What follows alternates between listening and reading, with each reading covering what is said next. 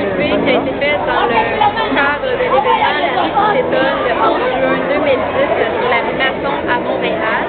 C'est un divan qui nous était offert euh, gracieusement sur lequel on devait